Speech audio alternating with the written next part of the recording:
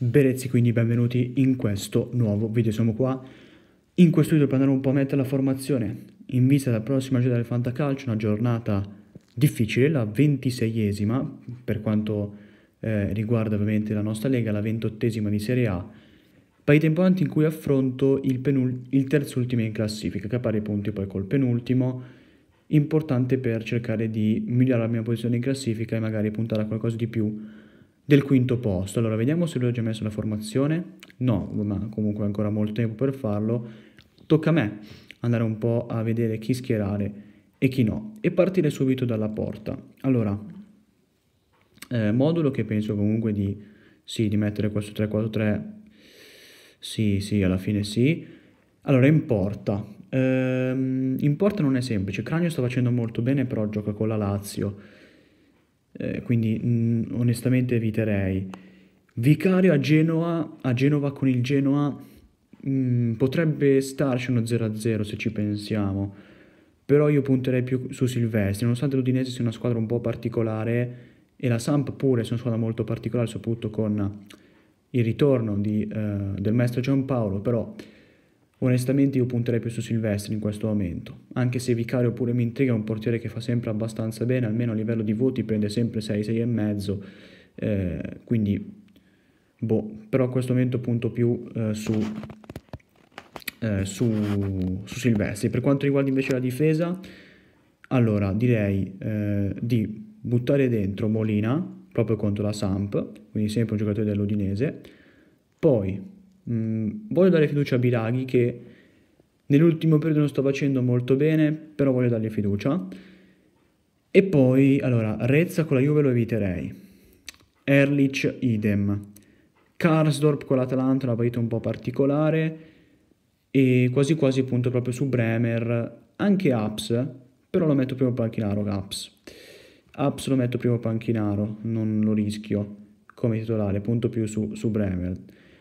A centrocampo, e a centrocampo invece è un pochino più complicata perché, allora io onestamente, eh, qui ce ne sono tante che si potrebbero mettere, allora, Svanberg ehm, non sto facendo molto bene, lo eviterei, Barak pure, per il semplice fatto che è uscito infortunato, potrebbe non giocare e se dovesse giocare giocherà poco, quindi non lo, lo, lo eviterei.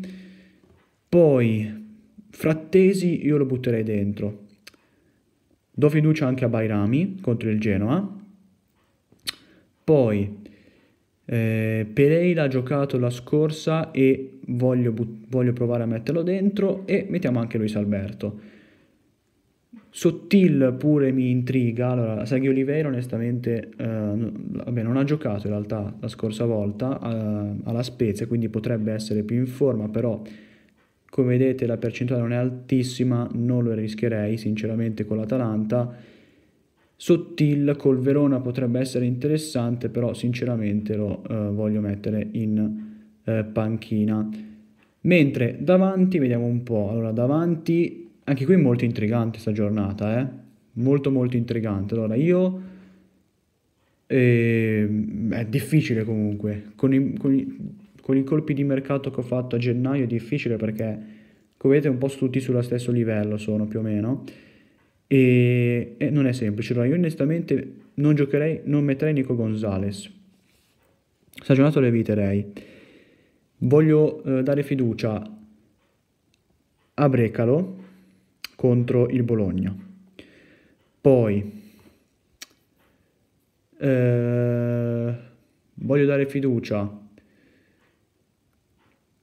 eh, sono indeciso in realtà, che stavo pensando a uno tra Beto e Abram.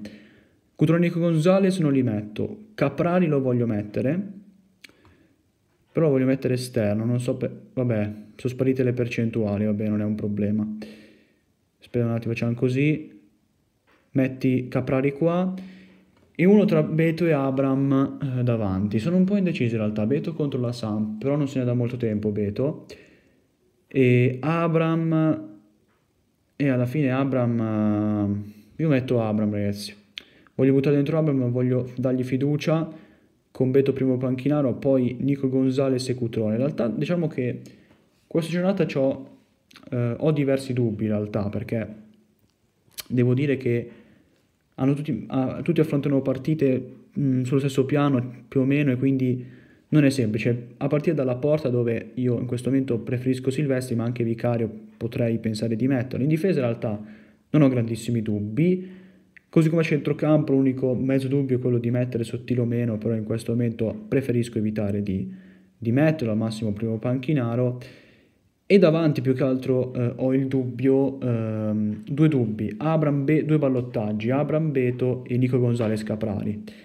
In questo momento però mh, punto più su Abram e Caprari, con Beto e Nico Gonzalez in panchina, però eh, essendo che manca ancora diverso tempo mi riservo il diritto ev- eventualmente di, di cambiare la formazione all'ultimo magari eh, cambiano un po' di... ci sono infortuni, cose così. Però comunque devo dire che davanti a questa giornata ho diversi dubbi. Ma per ora questa è la formazione, quindi 3-4-3 con Silvestri in porta, Molina, Biraghi e Bremer in difesa, Frattesi, Bairami, Pereira e Luis Alberto a centrocampo, davanti Brecalo, Abram e Caprari. A questo punto mi fermo, ci vediamo con il prossimo video. Ciao raga.